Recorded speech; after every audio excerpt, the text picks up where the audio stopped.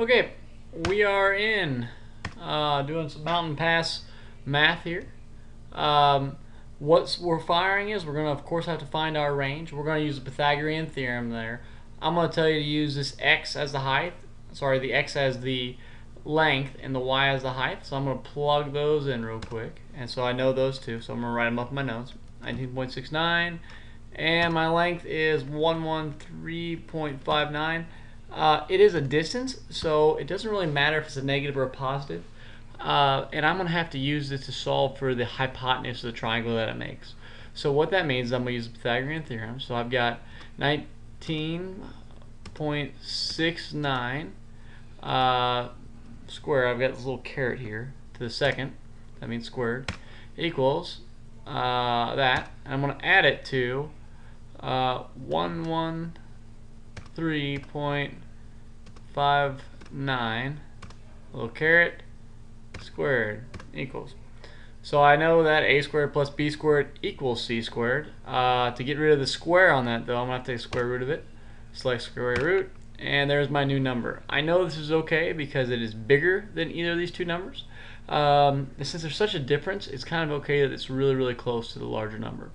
So that's now going to be my range. So 115.2839. So I'm going to use four decimals down there.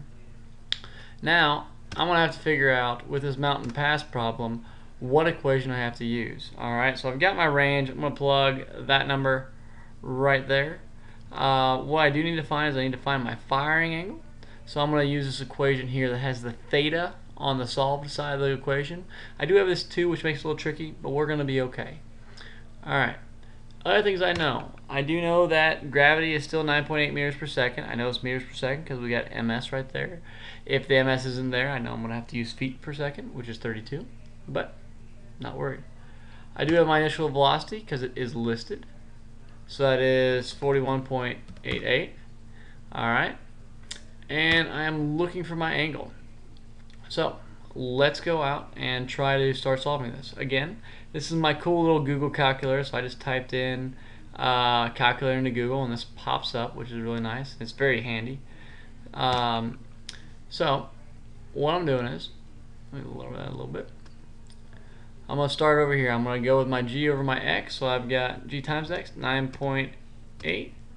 And I want to multiply that against my x, which I solved to be 115 point two eight three nine. Alright, it gives me that number. Now I'm going to have to divide it by my initial velocity, and that is squared. So I'm going to divide it here, and I'm going to have my initial velocity squared. I'm actually going to put this in parentheses. Most calculators are going to accept the, all calculators are going to accept the exponent, but I need to sort of break it up in my mind, so I'm going to put it in uh, parentheses. So I got 41.88 little caret to the second. I'm going to close my parentheses so I know that everything that is above here is now being divided by that value. I'm going to click enter. I have to end up with a number less than 1 in this situation if I'm going to use my inverse sine. Alright, now if I select inverse sine here, it does sort of plug it in there. And I select it. I get 40. And now I have to get rid of this 2, so I divide both sides by 2 dividing by 2 and it gives me 20.05 I'm gonna go over my question and we'll see if we are in the right ballpark. Whoop whoop whoop.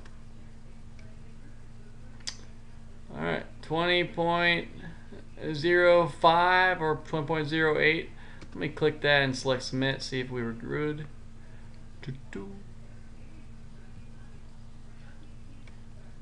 Alright, we're rocking. We got that right. All right, keep up the good work.